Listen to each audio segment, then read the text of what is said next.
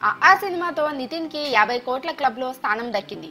అంతకుముందు పాతిక కోట్ల మార్కెట్ ఉన్న నితిన్కి అమాంతం రెట్టింపు షేర్ రావడానికి కారణం మాటల మాంత్రికుడు అనేది అందరికీ తెలిసిన సంగతే. ఆ సినిమాతో వచ్చిన ఊపుని కొనసాగించడానికి తదుపరి చిత్రం విషయంలో నితిన్ చాలా జాగ్రత్తలు తీసుకున్నాడు. ఎన్నో కథలు విని చివరకు హను రాఘవపూడితో లై చేస్తున్నాడు. ఇప్పటికే షూటింగ్ చివరి దశకు చేరుకున్న ఈ చిత్ర ప్రమోషన్ యాక్టివిటీస్ ఇంటర్నెట్లో బంబాట్ చేస్తోంది. ఆగస్టు పదకొండున విడుదల కాబోతున్న ఈ చిత్రం బడ్జెట్ నలభై కోట్లు పైమాటేనని ట్రేడ్ సర్కిల్ చెబుతున్నాయి.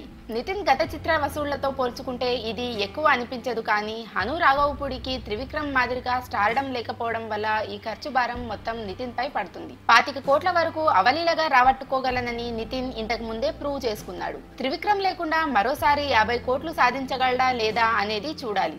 ఫోర్టీన్ రీల్స్ పెట్టిన బడ్జెట్కి థియేటర్స్ నుంచి కనీసం యాభై కోట్ల షేర్ వసూలైతే తప్ప అందరూ లాభాల్లోకి చేరారని అంటున్నారు. హను రాఘవపుడికి పెద్ద కమర్షియల్ హిట్ ఏదీ లేకపోయినా ఇంతగా ఖర్చు పెట్టడానికి లైలో ఏముంది అనేది ఆసక్తి రేకెత్తిస్తోంది.